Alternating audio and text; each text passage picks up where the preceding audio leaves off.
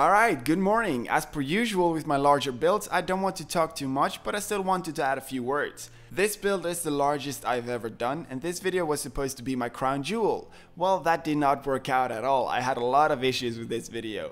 The build itself went pretty smooth, but everything else went terrible. First of all, I had a lot of issues with the replay mod, and I wasn't able to record every single bit of the building.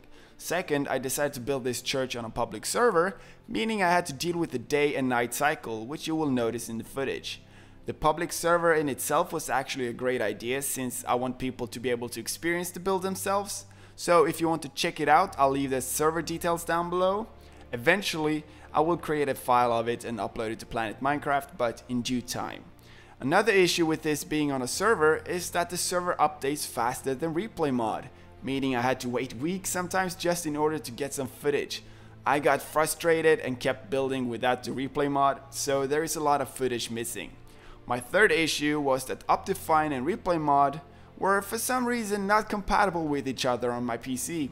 So the cinematic shots at the end are just me flying with my camera account, sadly not as epic, and some FPS drops.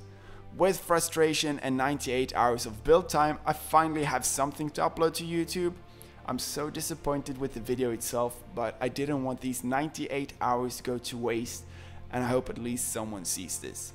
Eventually, when all the mods work again, I'm on the verge of a new PC, etc. I will create an epic cinematic of this, but that is probably a month or two away.